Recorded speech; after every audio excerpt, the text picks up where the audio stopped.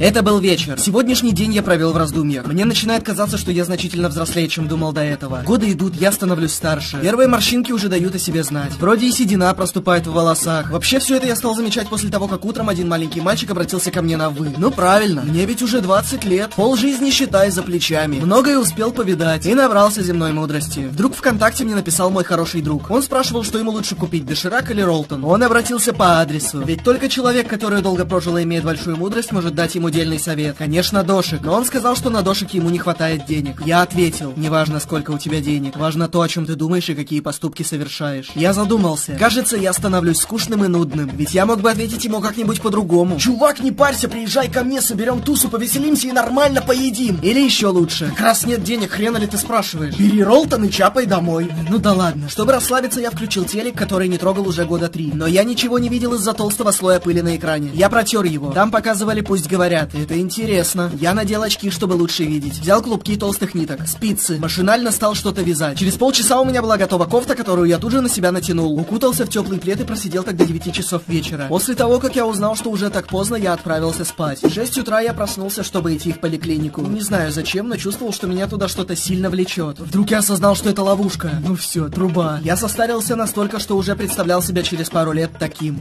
Это было утро. Я проснулся, начал искать вставную челюсть, но ее нигде не было. Я искал час, два часа, три часа. Я не нашел челюсть, но нашел тонометр. Измерил давление, высокое. Его нужно понизить. Но все необходимые лекарства были на втором этаже. Это был вечер. Я дошел до второго этажа. Дошел и принял нужные лекарства. Спустился вниз. Была уже глубокая ночь. Поэтому я лег спать.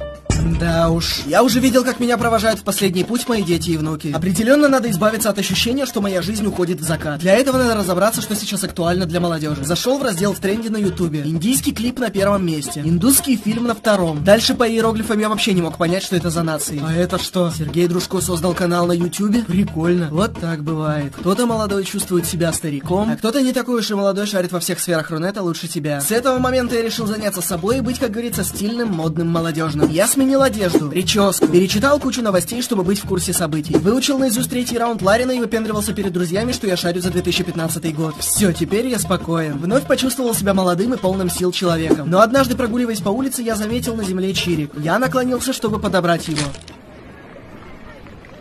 Все же радикулит добрался и до меня. И со зрением все не так уж и хорошо. 不